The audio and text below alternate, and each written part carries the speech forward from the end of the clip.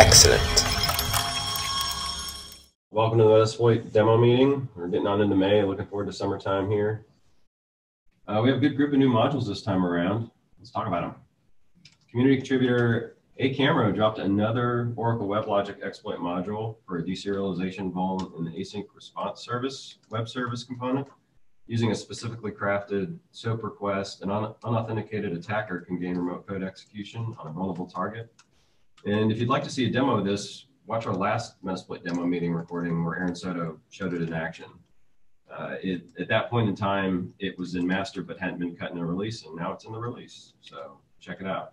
Part of that cool series from Big Camera.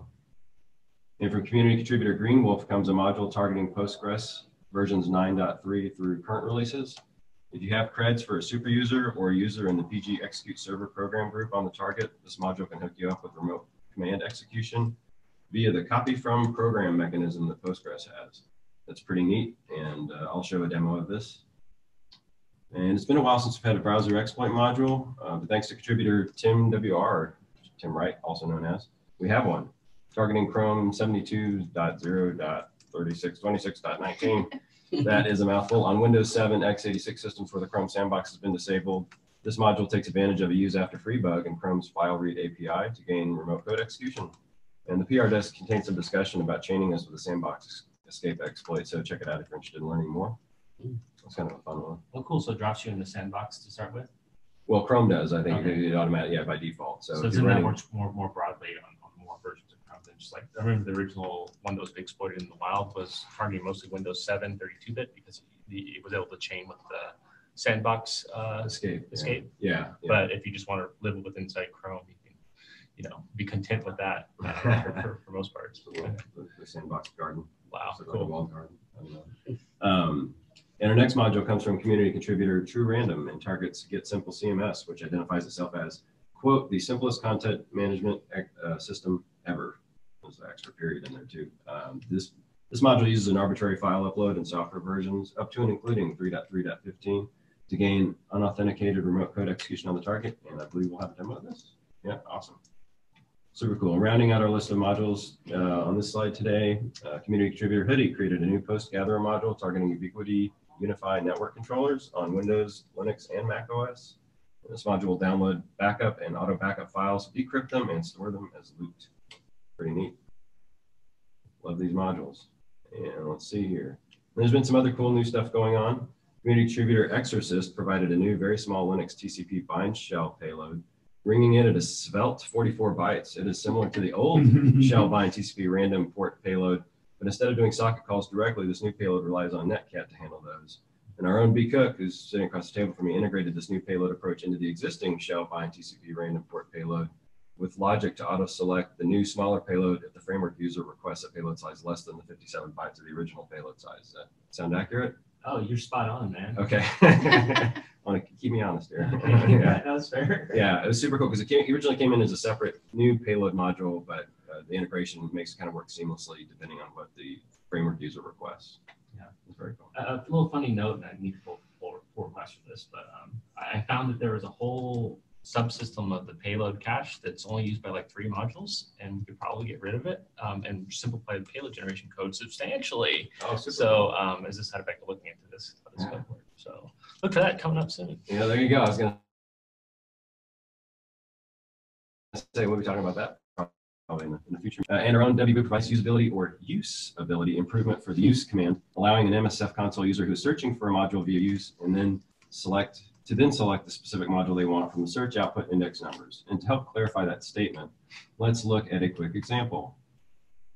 Okay, so here the user is interested in an Eternal Blue module. You can see right there, they type use Eternal Blue and use reports back that there are five available and it gives an index number next to each one. And then the user says, oh, I want the middle one. So they just, all they need to do is say use with the number two, indicating this one here.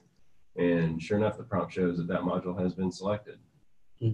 So should should be you know useful for people you know pun intended for you know work, helping smooth out a workflow and you know just if you don't remember the exact module you want, it'll help you out.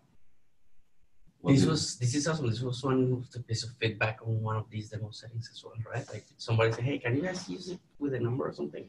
Yeah, actually, I think someone did ask for this like five years ago as well, and we kind of, you know, hemmed and hawed a little bit about like, well, what if someone puts that on a wiki, the word used to, and, and I think we eventually kind of got comfortable with, oh, that's okay. Yeah, we just needed some time.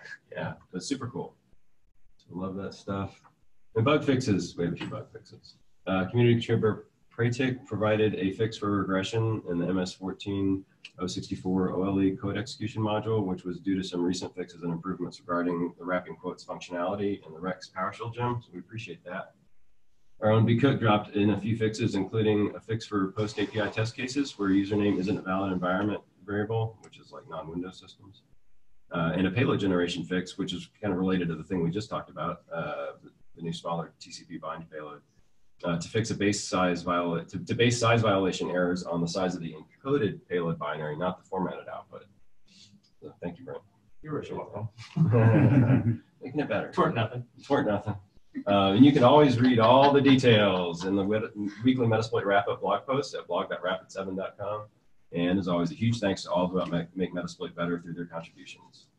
No goofy graphic this week, just a hearty thank you. All right, thank you. And with that, time for demos. As was said earlier, this uh, exploits this get simple CMS. Um, and all it is is uh, an arbitrary file upload that's unauthenticated. It's really just um, on a, uh, there, there's functionality where you can um, upload a theme and there's not really any sanitization on that file. So then you can just upload an arbitrary file and get code execution. So there's the name and then Executing is pretty straightforward. All you have to do is uh, type in the IP address and you should be good to go, which it looks like I already did. So hit run and then interpreter session. Nice. And this affects like a ton of versions of it? Yeah, that- multiple versions. Yeah, yeah, yeah. yeah. I forget how many, but quite a few. Super cool. And you make it look painless, Shelby. Awesome. Mhm. Super cool. All right, cool, thanks. Thank you, Shelby. Okay, so I'm going to demo the new uh, Postgres uh, module that, that came in. Uh, this one utilizes a copy from program uh, mechanism. Uh, as of this writing, it was versions 9, 9.3 through current, which I guess at the time the module submitted was like 11.2. I'm not sure what it is at now, but we're, all- we're vulnerable to this. So the top window here is a my victim uh, target, if you will. Try to embiggen that. Maybe I really big. I really want it that big. That's fine. It needs to be readable. Um, just do a uname here to kind of see where we're, you know, getting it. So this identifies itself as, as a Linux system. And down here, I'm embiggen this, I'm going to kick off my framework. Uh, just to show that they are, uh, you can see a slight difference there in the way they identify themselves from the uname command. So keeping me honest run framework, the, console here. I'll let that start up. So this this uh, module will get you remote command execution. Does not it does require authentication. So you either have to be no creds for a super user on the system, which in this case is what I'm doing today, or that user has to be a member of a specific uh, group that has privileges to run the copy from program command. So similar to Martha Stewart, I'm just going to use my pre-cooked commands to, to load it up here, but we'll run through them. There's, a, there's about seven options or so you have to set because you have to set the username, the password, the database name, the target, et cetera, et cetera. Let me see if get my, pull this up a little bit here. All right, there we are. Okay. So we'll start by selecting the module first. Da, da, da, da, da. There we go.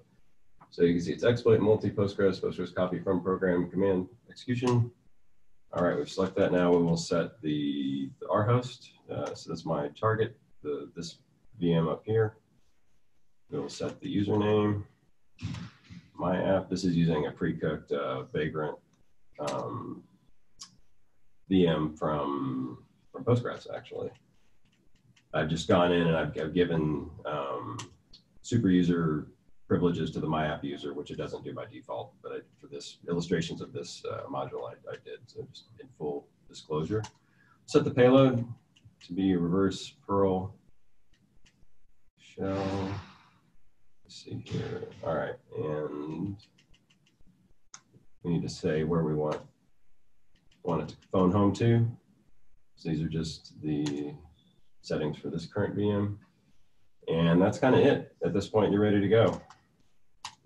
Assuming I did all things right, it says, hey, you've got a session now. And this does match this. And you can even do like, it's temp. You could say touch temp foo. So it's easy as one, two, three. But you do have to have the copy from, the, the user has to have the ability to run the copy from program mechanism, which actually uh, runs a program and then takes the output to put into a, a table in the database. That's, that's what that mechanism is for. Uh, so if you have credits for a user that has that ability uh, on your target, you are good to go. Hmm. So, Is there a way to know, I guess, scan for users that have these creds already set up without having to sort of do a mother may I exploitation attempt? that's a great question. Uh, I don't know the answer to that. Okay. I tried this module for the first time about 30 minutes ago. So. Okay. I'm glad it worked and well. it worked. Yeah, it's Yeah. great. I love it. Um, you know, good work from the you know community and, and, and partnering with our side and getting it landed. I think a big part of it also was updating the Postgres client itself to be able to talk to more versions of Postgres at the same time. It's, a, it's kind of a side effect. All right. There was a Yeah. there was quite a bit of work in the PR that went back Mhm. and forth. Yeah. So it's good stuff. Cool. And so this is a file dropper, so you could use any payload you wanted, pretty much. I believe that's the case. Yeah. Yeah. Nice.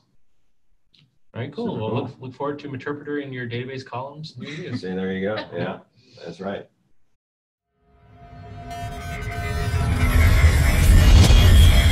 Excellent.